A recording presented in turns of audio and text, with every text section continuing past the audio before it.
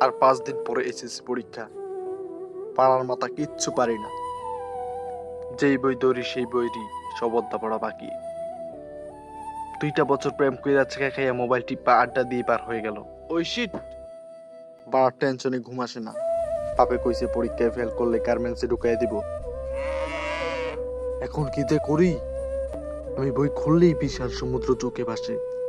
আর বইয়ের লেখাগুলো মনে হয় জাপানি ভাষায় লেখা রাখছে। কিছু বুঝিও না, মাথায় ঢুকেও না। এখন কি করে যে পাস করি? এই তো একটা আইডিয়া পাইছি।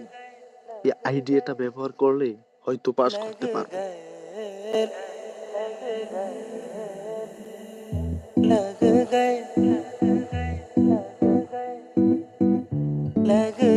হ্যালো গুগল, কীভাবে না পইরা পাস করা যায় বাজান একটু বলতো?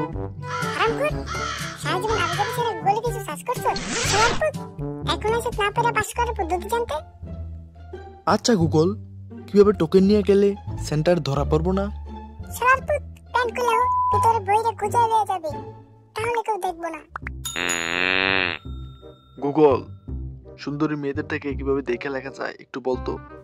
বলবি কি বিটিএস তাহলে তুই দেখে রাখতে পারবি। ওয়াও এতক্ষণে একটা গুড আইডিয়া দিলি রে গুগল।